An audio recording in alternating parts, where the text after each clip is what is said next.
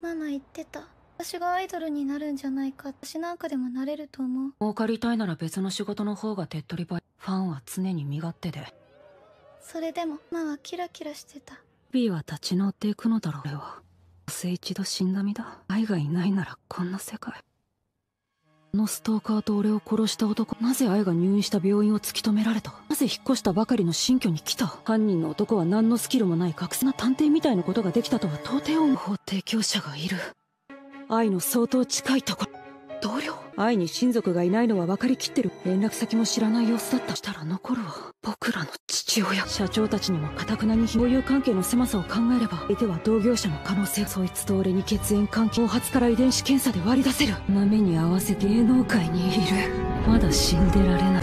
付け出して俺の手で妻では。